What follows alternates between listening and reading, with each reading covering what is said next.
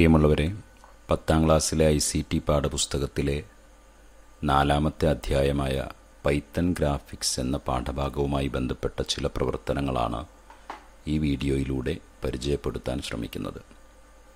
Python എന്ന computer ഭാഷ നിങ്ങളെല്ലാം ഇതിനകം പരിചയപ്പെട്ടിട്ടുണ്ട്.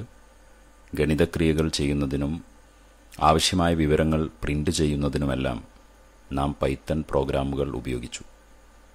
എന്നാൽ ഗണിതക്രിയകൾക്ക് പ്രോഗ്രാമുകൾ തയ്യാറാക്കുന്നതിനു മാത്രമല്ല കമ്പ്യൂട്ടർ ഭാഷകൾ ഉപയോഗിക്കുന്നത് ജാമിതീയ രൂപങ്ങൾ നിർമ്മിക്കുന്നതിനും പാറ്റേണുകൾ നിർമ്മിക്കാനും ആനിമേഷനുകൾ നിർമ്മിക്കാനുമെല്ലാം കമ്പ്യൂട്ടർ ഭാഷകൾ ഉപയോഗിക്കാം. പൈത്തൺ ഉപയോഗിച്ച് ജാമിതീയ രൂപങ്ങൾ എങ്ങനെയാണ് തയ്യാറാക്കുന്നത് എന്നാണ് ഈ പാഠഭാഗത്തിലൂടെ പഠിക്കുന്നത്. ഒട്ടുമിക്ക പ്രോഗ്രാമിംഗ് ഭാഷകളും ടൈപ്പ് ചെയ്യാനും അതോടൊപ്പം തന്നെ പ്രവർത്തിപ്പിക്കുവാനും കഴിയുന്ന തരത്തിലുള്ള എഡിറ്ററുകൾ integrated development environment I D E എന്ന് വിളിക്കുന്ന ഇത്തരത്തിലുള്ള എഡിറ്ററുകളിലൊന്നായ ഐഡിൽ ഉപയോഗിച്ചാണ് നാം ഈ പ്രവർത്തനങ്ങൾ ചെയ്യുന്നത്. പ്രോഗ്രാമിംഗ് ഭാഷകളുടെ സഹായത്തോടെ എങ്ങനെയാണ് ജാമിതീയ രൂപങ്ങൾ നിർമ്മിക്കുന്നത്? പൈത്തൺ ഉപയോഗിച്ച് നമുക്ക് എങ്ങനെ ജാമിതീയ രൂപങ്ങൾ നിർമ്മിക്കാം എന്ന് ഈ പാഠഭാഗത്തിലൂടെ മനസ്സിലാക്കാം. ആദ്യം നമുക്ക് ഐഡിൽ തുറക്കാം. ആപ്ലിക്കേഷൻസ് പ്രോഗ്രാമിംഗ് എന്ന ക്രമത്തിൽ ഐഡിൽ ഓപ്പൺ ചെയ്യുന്നു. ഇപ്പോൾ നാം കാണുന്ന ഈ വിൻഡോ പൈത്തൻ ഷെൽ ജാലകമാണ്. ഒരു പൈത്തൻ പ്രോഗ്രാം തയ്യാറാക്കുന്നതിന് നമുക്ക് ഒരു പുതിയ വിൻഡോ ഓപ്പൺ ചെയ്യാം. ഫയൽ ന്യൂ എന്ന ക്രമത്തിൽ ക്ലിക്ക് ചെയ്യുമ്പോൾ ഇവിടെ നമുക്ക് പൈത്തൻ എഡിറ്റ് ചെയ്യുന്നതിനുള്ള ഒരു എഡിറ്റർ ജാലകം ലഭ്യമാകുന്നു. ഇവിടെ നമുക്കൊരു സിമ്പിൾ പ്രോഗ്രാം ചെയ്യാം.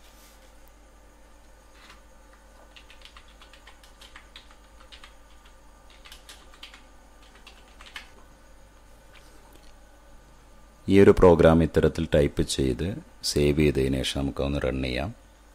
റൺ റൺ മൊഡ്യൂൾ എന്ന ക്രമത്തിൽ ക്ലിക്ക് ചെയ്യുമ്പോൾ നമുക്കത് സേവ് ചെയ്യാൻ കഴിയും. ഓക്കെ ക്ലിക്ക് ചെയ്തുകൊണ്ട് ഇവിടെ നമുക്ക് സ്റ്റുഡൻസ് വർക്ക്സ് ടെൻ എന്ന ഫോൾഡറിൽ പ്രോഗ്രാം വൺ എന്ന് പേര് നൽകി സേവ് ചെയ്യാം. ഇവിടെ നമുക്ക് പൈത്തൺ ടേർട്ടിൽ ഗ്രാഫിക്സ് വിൻഡോയിലാണ് ഇത്തരത്തിലുള്ള ഇതിന്റെ ഔട്ട്പുട്ട് ലഭ്യമായിട്ടുള്ളത്. പൈത്തൺ ഭാഷ ഉപയോഗിച്ച് ജാമിതീയ രൂപങ്ങൾ നിർമ്മിക്കുന്നതിന് ചില അനുബന്ധ സോഫ്റ്റ്വെയറുകളുടെ സഹായം ആവശ്യമുണ്ട്. ഇത്തരത്തിലുള്ള ഒരു അനുബന്ധ സോഫ്റ്റ്വെയറാണ് ടേർട്ടിൽ പ്രോഗ്രാമിന്റെ തുടക്കത്തിൽ ഈ ഫ്രം ടേർട്ടിൽ ഇമ്പോർട്ട് എന്ന് ചേർത്താൽ പൈത്തണിൽ ഗ്രാഫിക് നിർദ്ദേശങ്ങൾ പ്രവർത്തിക്കും എന്നർത്ഥം ഇവിടെ ഈ ഒരു നിർദ്ദേശം ടേർട്ടിലിന്റെ സഹായത്തോടു കൂടിയാണ് ഇവിടെ പ്രവർത്തിച്ചിട്ടുള്ളത്. ഇനി ഇതിൽ നാം നൽകിയ നിർദ്ദേശങ്ങൾ എന്തൊക്കെയാണെന്ന് ശ്രദ്ധിക്കാം. ഫോർവേഡ് ഹൺഡ്രഡ് എന്നുള്ളിടത്ത് നൂറ് യൂണിറ്റ് ലെങ്ത്തുള്ള ഒരു ലൈന് നമുക്ക് ലഭിച്ചിട്ടുണ്ട്. പിന്നീട് ഒരു ഫോർട്ടി യൂണിറ്റിലുള്ള ഒരു ഡോട്ട് ലഭ്യമായിട്ടുണ്ട്. അവിടെ നിന്ന് സിക്സ്റ്റി ഡിഗ്രി ആംഗിളിൽ വലതുഭാഗത്തേക്ക് ടേർട്ടിൽ തിരിഞ്ഞു. പിന്നീട് ഫോർവേഡ് ഫിഫ്റ്റി എന്നുള്ളത് ഫിഫ്റ്റി യൂണിറ്റിൽ ലെങ്ത്തുള്ള ഒരു ലൈന് നമുക്കിവിടെ ലഭിച്ചിട്ടുണ്ട്. ഇനി നമുക്ക് മറ്റൊരു പ്രവർത്തനം ചെയ്യാം. ഇവിടെ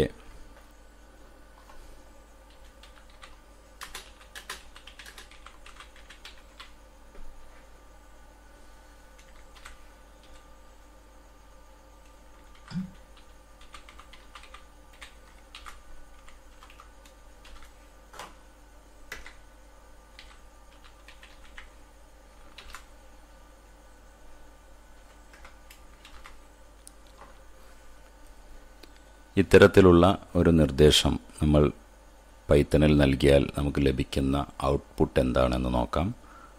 റൺ റൺ മൊഡ്യൂൾ എന്ന ക്രമത്തിൽ നാം ഇതിനെ റൺ ചെയ്യുന്നു. ഇവിടെ നമുക്കൊരു റെക്റ്റാങ്കിൾ ലഭ്യമായിട്ടുണ്ട്.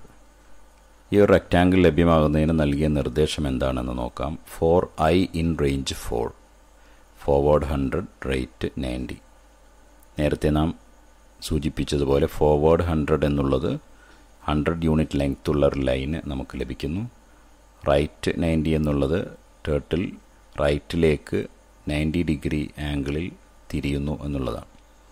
ഈ ഒരു പ്രവർത്തനം നാലു തവണ ആവർത്തിച്ചു വരണമെന്നാണ് ഇവിടെ ഈ ഒരു ഫോർ എന്ന ലൂപ്പ് നൽകുന്നതിലൂടെ ഉദ്ദേശിക്കുന്നത്.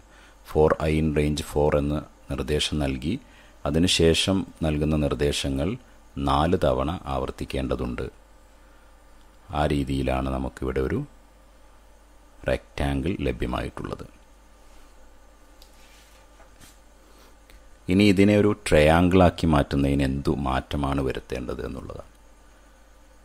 നാല് വശങ്ങളാണ് റെക്റ്റാങ്കിൾ അതുകൊണ്ടാണ് ഇത് നാല് തവണ ആവർത്തിച്ച് ചെയ്യേണ്ടി വന്നത്. ഇവിടെ മൂന്ന് വശങ്ങളാണ് ഒരു ട്രയാങ്കിളിനുള്ളത്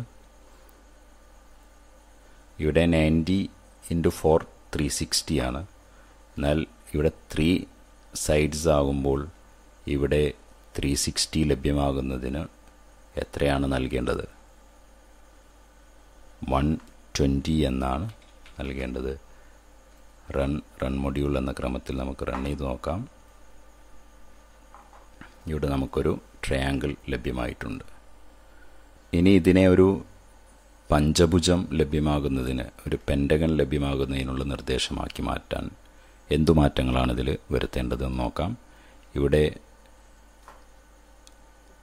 ഫൈവ് സൈഡ്സ് ആണ് ഉള്ളത്. അതുകൊണ്ട് തന്നെ അഞ്ച് എന്ന് ഇവിടെ നൽകുന്നു. ഫോർവേഡ് ഹൺഡ്രഡ് ഈ വൺ ട്വന്റി എന്നതിന് പകരം എത്ര ആയിരിക്കും അവിടെ നൽകേണ്ടി വരുന്നത്? ത്രീ സിക്സ്റ്റി ബൈ ഫൈവ് ആണ്. അതുകൊണ്ട് സെവന്റി ഇതിനെ നമുക്കൊന്ന് റൺ ചെയ്യാം.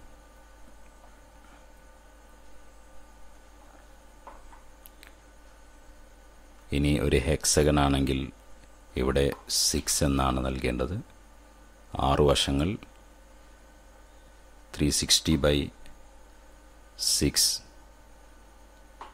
അത് അറുപതാണ്.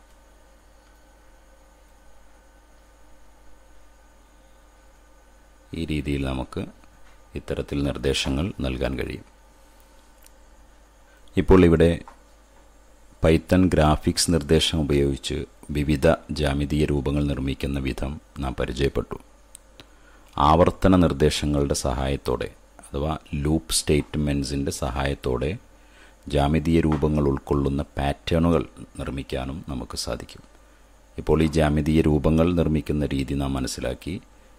അത്തരം ജാമിതീയ രൂപങ്ങൾ ഉപയോഗിച്ചുള്ള വിവിധ പാറ്റേണുകൾ നിർമ്മിക്കുന്നത് എങ്ങനെയാണ് എന്ന് നമുക്ക് നോക്കാം.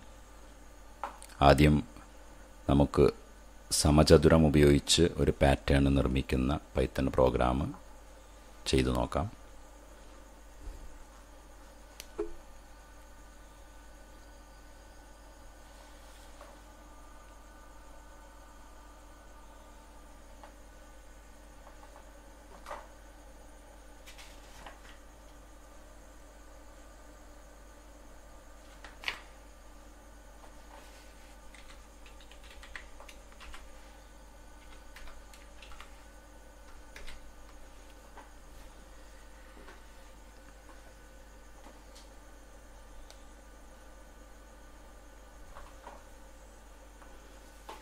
ഇവിടെ നൽകിയിട്ടുള്ള നിർദ്ദേശങ്ങൾ ശ്രദ്ധിക്കുക. ഒരു സമചതുരം നിർമ്മിക്കുന്നതിന് ഫോർ നിർദ്ദേശം ഉപയോഗിക്കുന്നത് നേരത്തെ നാം പഠിച്ചു. ഈ ഭാഗമാണ് സമചതുരം നിർമ്മിക്കുന്നതിനുള്ള ഫോർ നിർദ്ദേശം നൽകിയിട്ടുള്ളത്. അതായത് ഇവിടെയുള്ള ഈ കാര്യങ്ങൾ ഫോർവേഡ് ഹൺഡ്രഡ് റേറ്റ് നയന്റി ഈ നിർദ്ദേശങ്ങൾ നാല് തവണ ആവർത്തിച്ചു വരണം എന്നുള്ളതാണ് ഇവിടെ നൽകുന്ന ഫോർ നിർദ്ദേശം. അതിലൂടെ നമുക്കൊരു സമചതുരം ലഭ്യമാകുന്നുണ്ട്. ഇനി ഇതിന് മുകളിൽ കാണുന്ന നിർദ്ദേശം ഫോർ എന്നുള്ളത് ലൂപ്പ് ഒരു ലൂപ്പിനകത്ത് തന്നെ മറ്റൊരു ലൂപ്പ് കൂടി നൽകുന്നതാണ് ഇവിടെയുള്ളത്. ഈ ഒരു നിർദ്ദേശത്തിലൂടെ ലഭിക്കുന്ന ഔട്ട്പുട്ട് ആറ് തവണ ആവർത്തിച്ചു വരണമെന്നും അത് റൈറ്റ് സിക്സ്റ്റി അറുപത് ഡിഗ്രി വലതുഭാഗത്തേക്ക് ചരിഞ്ഞാണ് പ്രിന്റ് ലഭ്യമാകേണ്ടത് എന്നുമാണ് ഇവിടെ നൽകുന്ന നിർദ്ദേശം. ഈ നിർദ്ദേശം പെൻ സൈസ് ലൈനിന്റെ തിക്നെസ്സിനെയാണ് സൂചിപ്പിക്കുന്നത്. അപ്പോൾ നമുക്കിതൊന്ന് റൺ ചെയ്ത് നോക്കാം.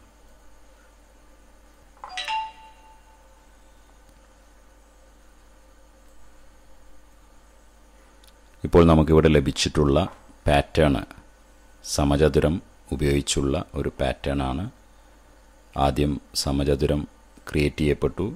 ആ സമചതുരം ആറ് പ്രാവശ്യം ആവർത്തിച്ചുകൊണ്ട് അറുപത് ഡിഗ്രി വലതുഭാഗത്തേക്ക് ചരിഞ്ഞുകൊണ്ടുള്ള ഒരു പാറ്റേൺ നമുക്ക് ലഭിച്ചു. ഇവിടെ ഇപ്പോൾ നമുക്ക് ഡിഫാൾട്ടായിട്ട് ബ്ലാക്ക് കളറാണ് ഈ പാറ്റേണിൽ ലഭിച്ചിട്ടുള്ളത്.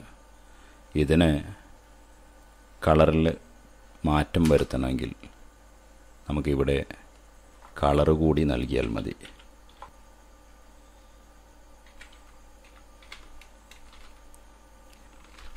ഇവിടെ ബ്ലൂ കളറാണ് ഈ റെക്റ്റാങ്കിളിന് ഉണ്ടാവേണ്ടത് എന്ന് കൂടി നമ്മളിവിടെ നിർദ്ദേശിക്കുകയാണ്. അതോടെ റൺ റൺ മൊഡ്യൂൾ എന്നതിൽ ക്ലിക്ക് ചെയ്യുമ്പോൾ നമുക്ക് ആ രീതിയിൽ കളർ മാറ്റം വന്നിട്ടുള്ള പാറ്റേൺ ലഭ്യമാകുന്നുണ്ട്. ഇവിടെ ഇപ്പോൾ ഈ പാറ്റേണിൽ എല്ലാ റെക്റ്റാങ്കിളും ഒരേ കളറിൽ തന്നെയാണ് വന്നിട്ടുള്ളത്. ഇതിൽ ഓരോ റെക്റ്റാങ്കിളിനും ഓരോ കളർ നൽകണം എന്ന് കരുതുക. അതിന് നമുക്ക് എന്തു മാറ്റങ്ങളാണ് ഈ പ്രോഗ്രാമിൽ വരുത്തേണ്ടത് എന്ന് നോക്കാം. ഇവിടെ പെൻ സൈസ് ത്രീ തന്നെയാണ്. ഇതിന് തൊട്ടു താഴെയായിട്ട് നാം കളർ എന്നുള്ള ഒരു നിർദ്ദേശം കൂടി നൽകുകയാണ് സി എൽ ആർ എന്ന് നൽകി ആറ് കളറുകൾ അവിടെ ടൈപ്പ് ചെയ്ത് നൽകുക ഡബിൾ ഇൻവെർട്ട് കോമയ്ക്കകത്താണ് നൽകേണ്ടത്. ഓരോന്നും കോമ ഇട്ട് സെപ്പറേറ്റ് ചെയ്യണം.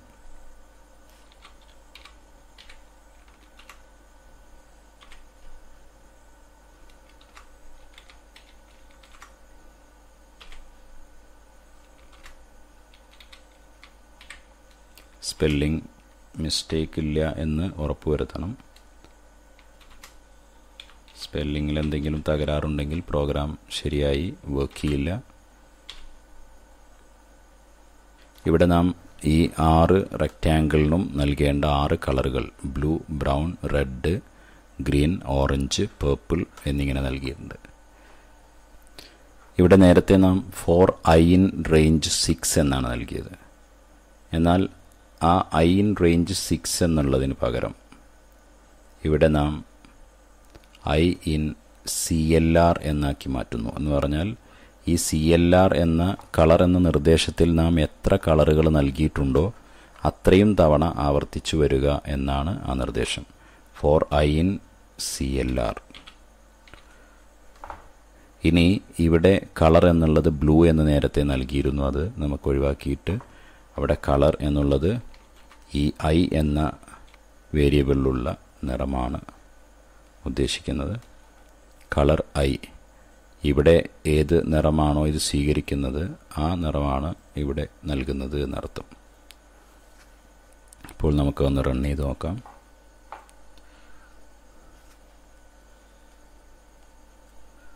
ഓരോന്നിനും നാം നൽകിയിട്ടുള്ള നിറങ്ങൾ ആദ്യത്തേത് ബ്ലൂ പിന്നീട് ബ്രൗൺ പിന്നെ റെഡ് ഗ്രീന് ഓറഞ്ച് പേർപ്പിൾ എന്നീ രീതിയിൽ നമുക്കിവിടെ ഒരു പാറ്റേൺ ലഭിച്ചിട്ടുണ്ട്. ഇത്തരത്തിലുള്ള മറ്റു പാറ്റേണുകൾ ഇനി മറ്റൊരു വീഡിയോയിലൂടെ നമുക്ക് പരിചയപ്പെടാം. ഇത്തരത്തിലുള്ള വീഡിയോകൾ ലഭിക്കുവാനായി നിങ്ങൾ ഈ ചാനൽ ഇതുവരെയും സബ്സ്ക്രൈബ് ചെയ്തിട്ടില്ലെങ്കിൽ ദയവായി താഴെ കാണുന്ന സബ്സ്ക്രൈബ് ബട്ടൺ അമർത്തുക.